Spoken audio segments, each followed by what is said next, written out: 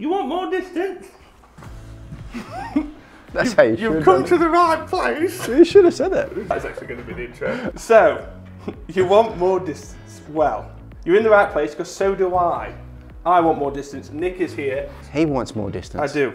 I want more You seriously want more distance? Yep. I want to be able to outdrive every single living person. Not that you hit it far enough anyway. But Al has lost a little bit of distance of late, so he's come to me and said, Nick, what do I need to do? So in today's video, we're gonna make you hit it longer. It's been since the injury. Yes. I feel like I've, since the shoulder injury, nearly fell over there.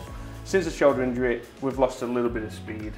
Strike is gone out the window. Yeah, his strike locations have been a little bit all over the place, and if you've been watching his videos of late, we've been getting some Yeah.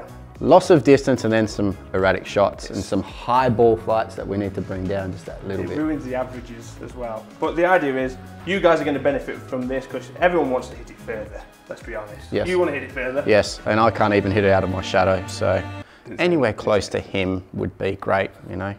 We want to outdrive daughters, sons, husbands, wives, dogs, guinea pigs, fish, Grandma grandma. I can't forget grandma and granddad. and granddad, yeah. I'm just going to hit a few shots. Yes. see what we get, see exactly what we're dealing with because at the moment strike location tends to be lower half, Yes. the bad ones. Which means his spin numbers get up a little bit, I reckon I'm losing 30 to 40 meters e- roughly. easily.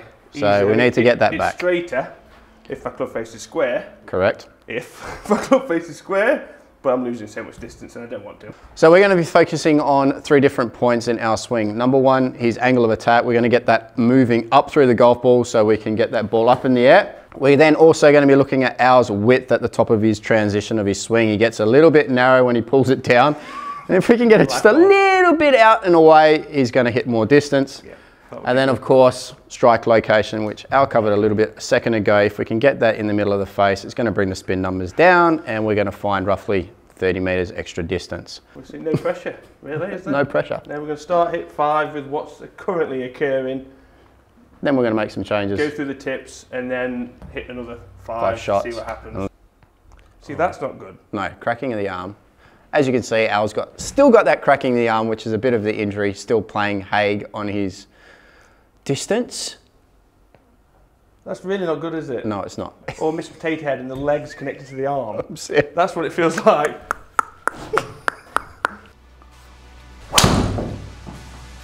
Out to the right, my favourite place. Your favourite place for sure. Out to the right. Guaranteed next one's going to be left. Alright.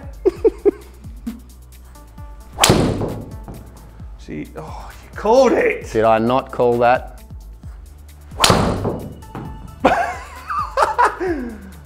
I called that one as well. So the green's 300 metres away. And if you all know Al quite well, you probably know that that green's usually gettable, if not going past.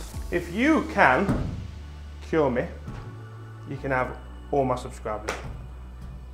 Terms and conditions Oh, I was going to say, where's, where's the terms and conditions? in the description below. I wouldn't do that to Team Al. Finding a little bit of rhythm now. Yeah. Oh, that was high in the face. So if you can't see the screen, these are my averages. We've got the animation down below. don't, don't know what that is. so on average, club head speed was 121. We're going to be keeping an eye out on that. Yes, we want to see That'd be interesting. Ball speed 179, strike dependent on average. Backspin 2343, carry 274, 288 total distance. So we're carrying it 300 yards for everyone that you know uses yards. Right, so things that I want to implement. So if we can get a little bit of width on Al's transition, we probably could see that club head speed maybe jump two, three, maybe four miles per hour, just because his width is going to be a little bit wider, or his angle or his arc is going to be a little bit Stop calling me wider. wide. Well, he's wider than me. Beg pardon. Um, Backspin, we want to bring that into a better number, roughly around what, two, one? I reckon, yeah, two, two's the hot spot. As Two's long a as hot I've got spot. the launch and the strike. As long as he's got the strike location. And then that's where we're going to go into strike location. We're going to put some markings on Al's face to see where he's striking it on the face to make sure that we're getting it up at the right angles. Okay, so tip number one, like we said, we talked about width in transition. Now this is a big thing. So Al's going to take his backswing up to the top. And what he normally does is when he transitions is he gets really narrow, feels like he pulls down here and we've lost all our width. So what we're gonna get Al to do is he's gonna take his swing up to the top here and we're gonna feel like I'm gonna put my hand on the back of that and he's gonna be pushing that handle out towards me. That will get that club out a little bit wider. He's retained his hinge, but he's gained width in his arc, which is then going to give the club more time to get the ball, hence jump the speed up into the air. So, not this. Correct. More like that. Okay, now the big thing I will emphasize on that is you do not want to be casting it like a fishing rod, okay? It is about maintaining hinge and maintaining width. Second point is, is now we're looking more towards the ground and the angle of attack at the golf ball. Because he's created a little bit more width on his transition, he now wants to make sure or ensure that he's hitting the ball on the up.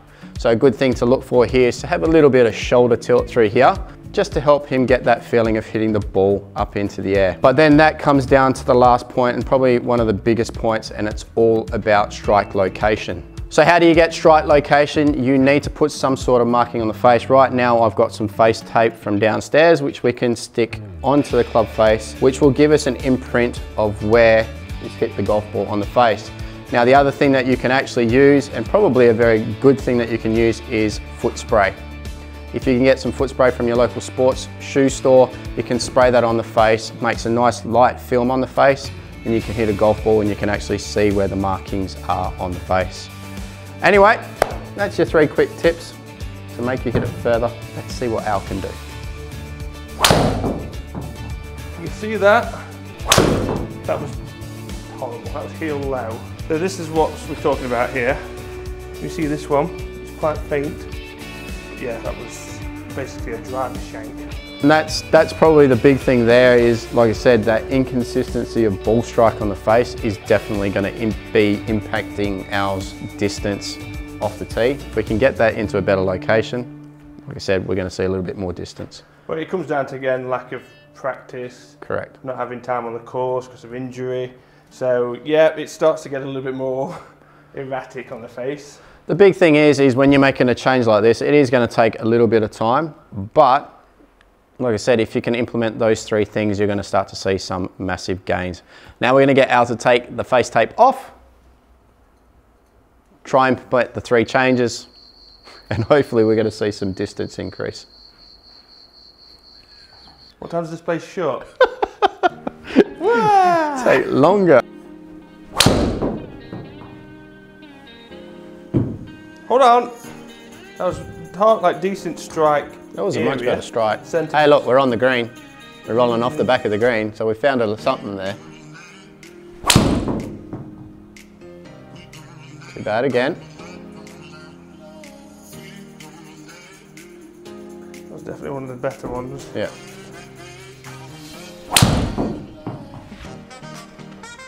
The tee out? That wasn't the best. Still 122? 122. Club head speed is consistently... Yeah. Higher than what it was before. Haven't lost one right either yet. Great. Great.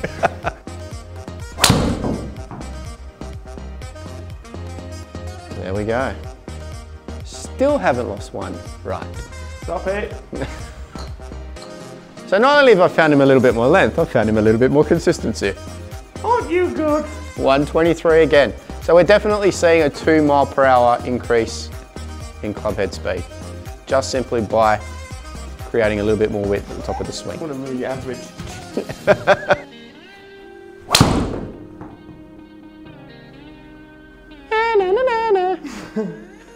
God, I don't like you.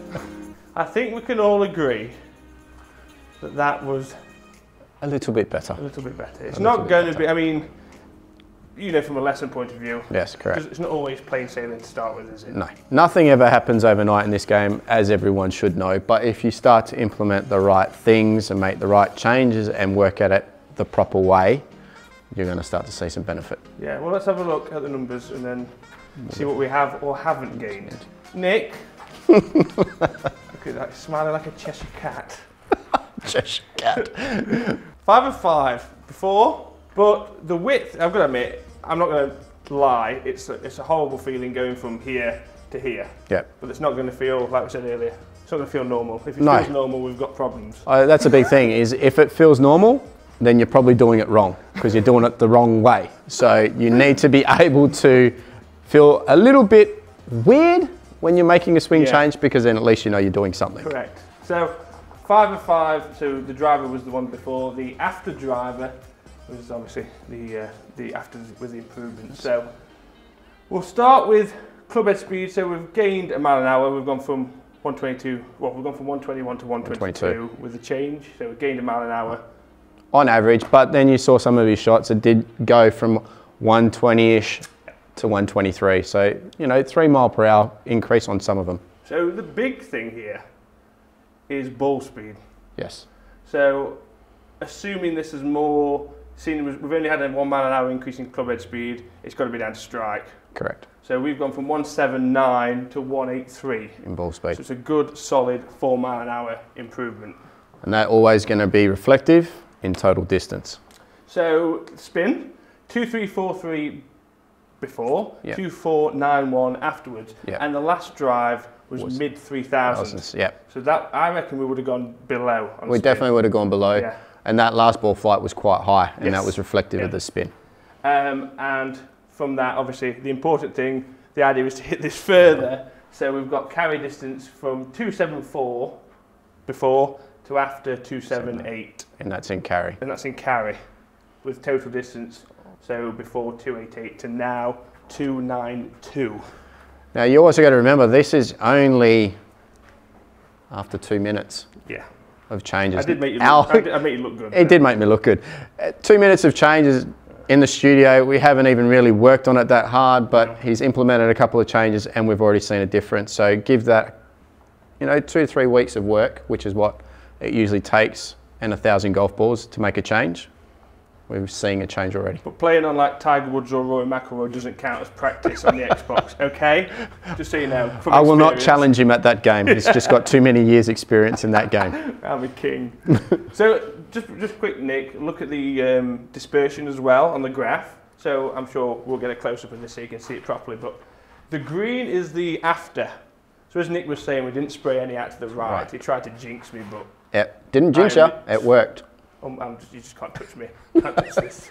So the the blue we've got two to the left, three to the right. right. But the green is clearly More. moving one way. Exactly. We got a bit more consistent because Yeah. we've got a little bit more width in the arc. It gives him a little bit more, I guess, stability in his swing, hence creating a more effective shot pattern. Pains me to say this, but Nick did win this. Woohoo! Damn you. One to me. Damn you. So um, comment down below if you did like this. This is again new territory, Yeah. especially for both of us. Um, never really done anything like this before. No. We did the Wolfie. We did the Wolfie one, but I mean, we've pretty much run two independent channels for quite some time Yes. So go over to Academy with Nick, Golfbox Academy. The link is down below and every location on the page. Just down here. Here, Just here, down and here. Just down here. Um, hit subscribe. Nick's got some fantastic content helping you out, like he has done me just now, hopefully. Hopefully. Um, so it's, it's everything for short game. Short game, long game, you name it. Training aids, everything to do with trying to get you to play better. Tennis game, pool game. Not just yet though. no. Swimming, tennis academy. Um, but yeah, go over and hit subscribe. He's got some great giveaways as well. He's Yes, massive, yeah, everyone. massive One giveaways. massive at the moment. yes, So one is sure extremely massive. Get over there. And obviously, this is the best channel ever. So hit subscribe. Number one channel, I'm going for number two. I will take over in one day. so thanks, uh, seriously though, guys. Thanks so, so much for watching. Comment down below if you want to see more of this. If you've got any sort of ideas that you'd want us to, To cover. do. Yeah, definitely. because obviously I need as much help as what you guys probably do. So, yeah, hit, hit the comments down below, hit subscribe, follow us on social media, and we'll see you next time.